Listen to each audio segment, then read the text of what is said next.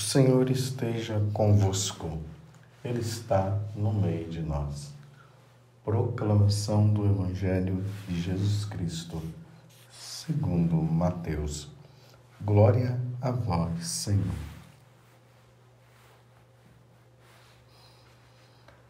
Naquele tempo, Jesus entrou na barca e seus discípulos o acompanharam.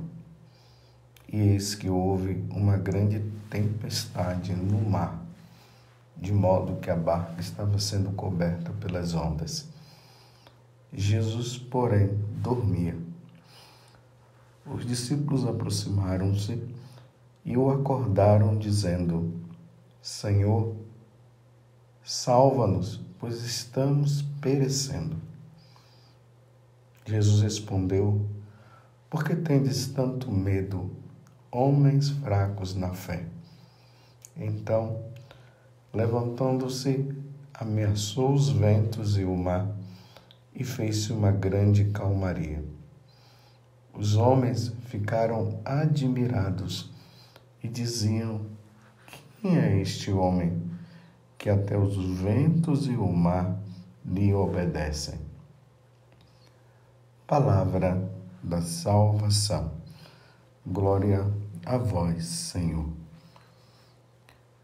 Meus irmãos e minhas irmãs, como eu tenho dito, nós saímos ali do dessa passagem no Evangelho dentro da liturgia do chamado Sermão da Montanha, capítulo 5, 6 e 7 do Evangelho de São Mateus, onde Jesus estava orientando tanto os discípulos como aquela multidão ali presente a respeito do caminho de santidade, de como nós devemos ser santos. Nós vimos ali até muitas coisas que Jesus falou e falou com muita dureza, com muita firmeza, porque é isso que nós precisamos. Nós precisamos de um Deus que nos firme, que nos coloque no caminho certo, para que nós não venhamos a afastar da verdadeira salvação que vem de nosso Senhor Jesus Cristo. Saímos então, acabou o sermão da montanha, entramos agora ali nesta vida cotidiana onde Jesus continua a ensinar os apóstolos. Lembremos que os apóstolos, eles estão passando por um processo de aprendizado, de reconhecimento de que Jesus, ele é Deus.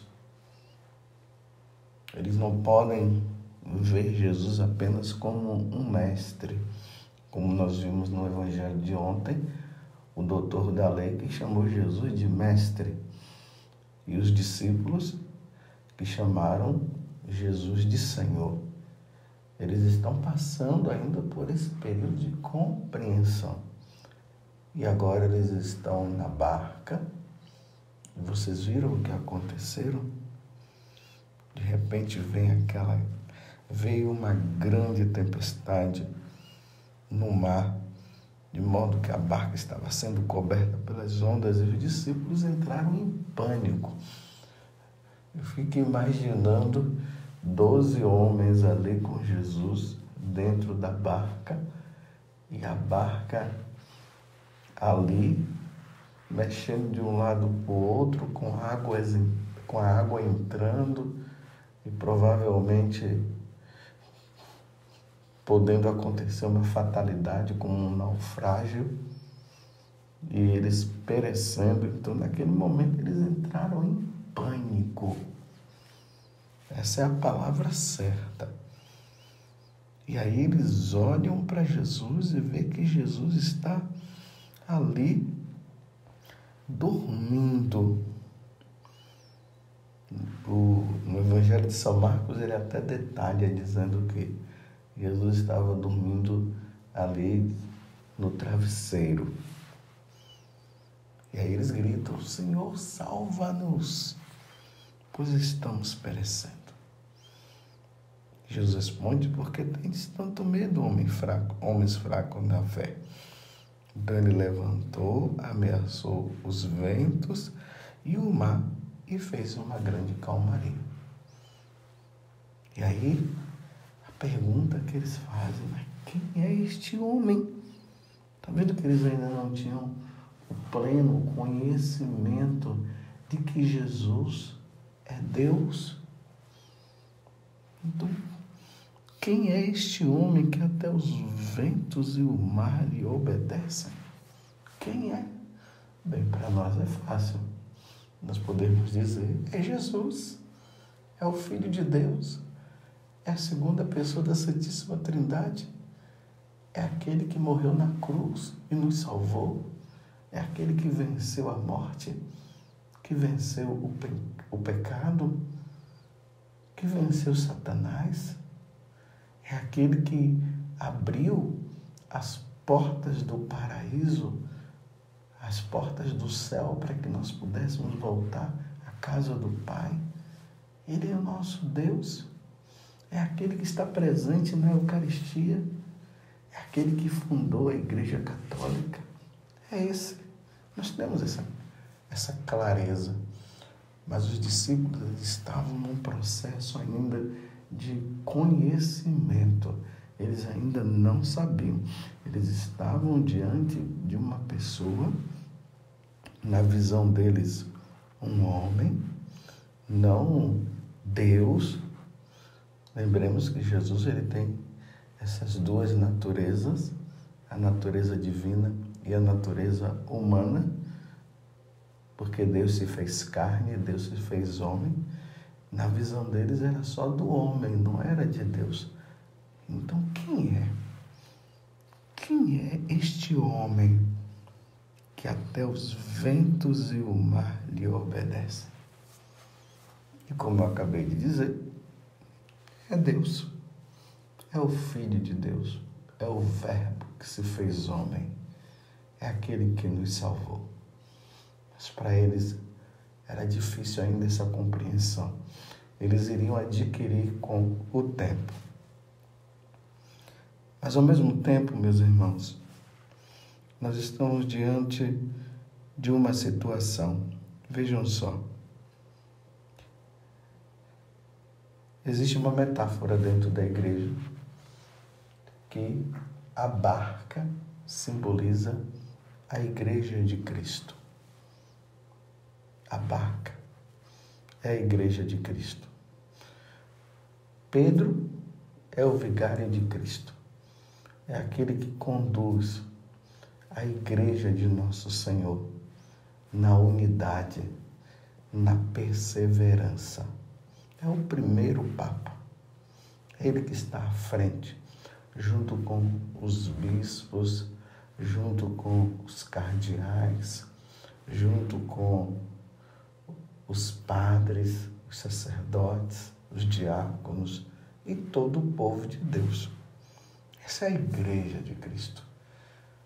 Mas nós precisamos entender uma coisa. A igreja de nosso Senhor, ela passou por tempos difíceis. No decorrer da história da igreja, nós vemos que em determinados momentos a igreja, que é esta barca, foi atormentada por Satanás.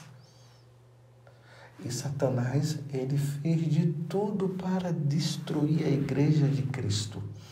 Ele não somente fez, mas ele continua fazendo. E na medida que o tempo vai passando e que nós vamos nos aproximando dos últimos tempos, do fim de tudo. Eu não estou dizendo também que já vai ser amanhã ou vai ser depois. Estou apenas trazendo para vocês um fato que acontece dentro da igreja. E na medida que o tempo vai passando e que vai e que nós vamos nos aproximando da segunda vinda do Senhor, aí Satanás vai ficando mais furioso e ele vai fazendo de tudo para destruir a igreja. E isso aconteceu com as heresias. Hoje a igreja, celebramos aí Santo Irineu, que lutou tanto com isso. fazendo com que a igreja do Oriente e a igreja do Ocidente se unisse, porque não estava tão unida assim. E tantas heresias ele lutou contra a, a heresia do agnosticismo, do sincretismo existente dentro da igreja também, mostrando que Jesus é Deus e Senhor. A igreja parecia que ia acabar. Tenhamos em mente o que Jesus disse. As portas do inferno não prevalecerão contra a minha igreja. Quem falou isso foi nosso Senhor Jesus Cristo. As portas do inferno não prevalecerão contra a minha igreja. Tu és Pedro, e sobre a minha, a minha igreja, as portas do inferno não vão prevalecer. Está lá no capítulo 16 do Evangelho de São Mateus, nós veremos isso na, na frente. Nós estamos assim. A igreja está passando por uma fase difícil. Nós estamos numa crise muito grande, e isso é verdade. Nós não podemos fechar os nossos olhos os ventos estão vindo contra, as ondas estão vindo forte. Aqui, mais uma vez eu digo, se expressa a fúria de Satanás contra os cristãos, contra a igreja. E parece que tudo vai perecer, parece que as águas essa tempestade furiosa vai destruir. Mas ouçam bem o que eu estou dizendo para vocês. Parece. Quem é Satanás para brigar com Deus? Quem é Satanás? Simplesmente Satanás. É o que eu posso dizer. Quem é o diabo? Simplesmente divisor. Aquele que divide. Satanás é o adversário. É simplesmente o adversário. Adversário de quem? De Deus. Ele se colocou nessa posição.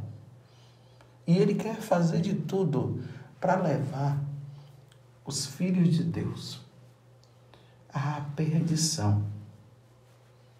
Mas, meus irmãos, eu quero dizer para vocês que ele não vai conseguir destruir a igreja jamais. Ele não destruirá a igreja de nosso Senhor Jesus Cristo. Mas uma coisa é verdade, meus irmãos. Assim como Lúcifer, que é o diabo, ele conseguiu levar uma terça parte quando ele estava no céu, quando ele se rebelou contra Deus. E ele conseguiu levar uma terça parte, isso está lá no livro do Apocalipse, a se rebelar contra Deus, ele também fará com que muitos católicos abandonem a igreja e se revoltem contra Deus. Essa é uma grande verdade. Isso ele já fez, ele está fazendo e fará. Enquanto Jesus não vier, isso acontecerá. Mas ele não será o vencedor, porque ele já foi derrotado na cruz. E diante dessa situação, nós nos que nós nos deparamos, nós ficamos assim, meu Deus, até quando? Quando a igreja era perseguida no tempo ali de São João, quando ele estava na ilha de Pátimos, as pessoas, os cristãos diziam para João: até quando? Até quando? Até quando os imperadores vão continuar perseguindo-nos? Até quando, meus irmãos, isso cabe a Deus? Não tem como nós é, diante disso saber. É um mistério. Deus permite que sejamos provados. A igreja está sendo provada de novo. Parece que Deus está dormindo, né? Não. Deus não está dormindo, meus irmãos. Jesus estava ali, mas ele não estava dormindo, embora o evangelista diga que ele estava dormindo. Não é que Jesus estava dormindo. Ele é Deus. Deus não dorme. Deus não dorme. O vigia de Israel, que é nosso Senhor Jesus Cristo, ele não dorme. Vocês pensam que diante desta situação que nós estamos vivendo hoje, cada um fala uma coisa, cada bispo fala uma coisa, cada sacerdote fala uma coisa. A unidade da igreja parece que está sendo quebrada. O depósito da fé está sendo deixado de lado. Cada um diz um, algo. Já não existe mais pecado na cabeça de muitos. Muitos dizendo que é possível pecar. Liberação disso e daquilo. Questionamento dos dogmas da igreja. a liturgia sendo profanada, a santa liturgia sendo profanada de várias formas. Eu aqui só estou relatando o que nós vemos, está aí no dia a dia. Uma mistura dentro da liturgia da igreja. Como Santo Irineu, que lutou muito contra esse sincretismo, essa junção de querer unir todas as religiões. Não, as religiões elas precisam conhecer a face de Cristo, precisa conhecer Jesus Cristo como Senhor e largar a sua religião e voltar para a verdadeira religião. Aonde Cristo é o centro o pantocrato, o Senhor, o dominador, o Rei dos Reis, o Senhor dos Senhores. Não fazer com que todas as religiões estão certas, todas as religiões estão corretas, que todas as religiões levam ao céu. Não. Não foi isso que nosso Senhor nos ensinou. A verdadeira igreja de Cristo é a católica. E todos precisam voltar. Mas parece que Deus está dormindo porque essa mistura. E os cristãos estão ali, aqueles que estão querendo viver a fidelidade a Deus, estão ali com medo e estão dizendo o que será da Igreja Católica. Saibam de uma coisa, meus irmãos: as portas do inferno não vão prevalecer, não vão jamais. O que Deus tinha que ensinar, Ele já nos ensinou. Agora sim, nós estamos nos revoltando e dando as costas e achando que nós podemos ir por esse caminho, por aquele caminho, por aquele caminho. Jesus está esperando a resposta nossa. E a nossa resposta, meus irmãos, precisa ser de fidelidade. Fidelidade ao catecismo da Igreja Católica. Fidelidade à verdadeira doutrina. Fidelidade ao depósito da fé fidelidade ao magistério da igreja, fidelidade aos santos padres. E enquanto isso, nós somos atormentados de um lado e do outro, com ventos, com tempestades fortes. E aí a gente respira fundo e diz: o que será de nós? O que vai acontecer? Não tenhas medo. Não tenha medo. Por que tens tanto medo?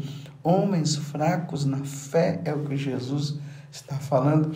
Então Jesus levanta, ameaça os ventos e o mar e, e ali fez uma grande calmaria. O tempo da calmaria chegará, meus irmãos. Mas a sua resposta e a minha deve ser de fidelidade. Às vezes há, o que eu observo é que há uma perseguição, tanto interna como externa, àquelas pessoas que estão querendo viver a fidelidade. A fidelidade ao magistério, a fidelidade ao evangelho, a fidelidade ao ensinamento. Aqueles que estão querendo ser fiéis estão sendo perseguidos, seminaristas sendo perseguidos, porque querem viver a doutrina, padres sendo perseguidos, bispos sendo perseguidos porque não querendo viver a fidelidade. E aí essas novidades, essas modernidades, querendo dominar a igreja de Cristo, não vai dominar, não vai conseguir.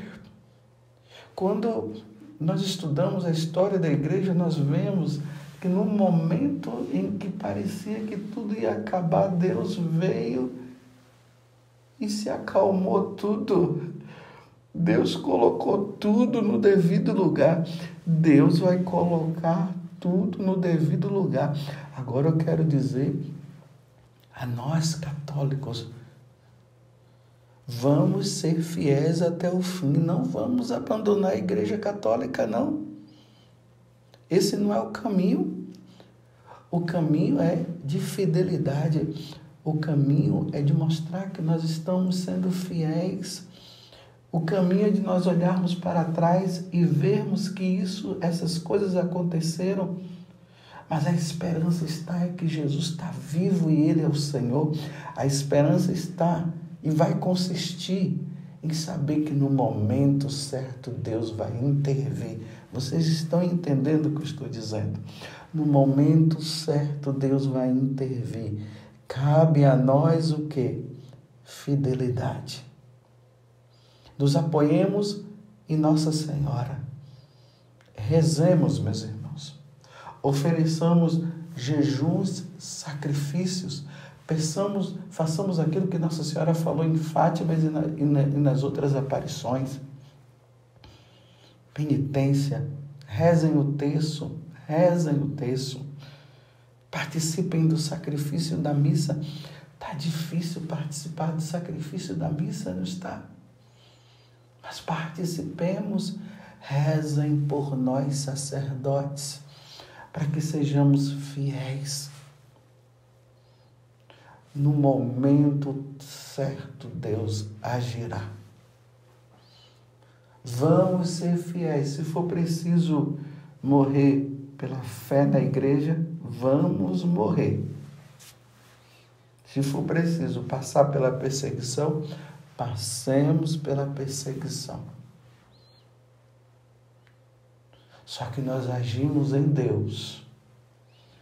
Devemos falar e falemos o que precisa ser falado orientemos naquilo que precisa ser orientado, mas não usemos as armas humanas. A nossa arma, ela vem do céu. Nós pedimos e no momento certo Deus agirá. Mas não vamos desanimar. Seminaristas, padres, bispos que estão sendo perseguidos, não desanimemos. O povo de Deus que está sendo perseguido, não desanimemos. Olhemos para Cristo. Olhemos para Nossa Senhora. Peçamos que do céu venha o nosso socorro, porque o vigia de Israel não dorme. Deus está vendo, mas Deus está querendo ver quem vai ser fiel e quem não vai ser. Quem vai desanimar ou quem vai continuar firme.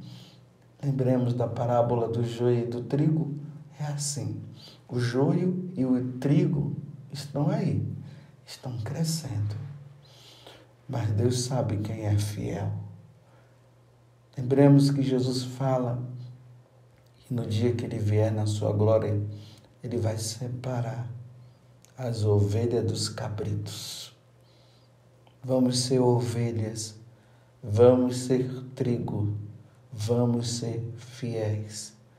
Não vamos entrar nessa onda da ideologia do gênero, de gênero, não vamos entrar nessa onda do aborto, não vamos entrar na onda de que tudo é permitido, não vamos entrar na onda de que é, se pode comungar em estado de pecado mortal, porque Deus é misericordioso.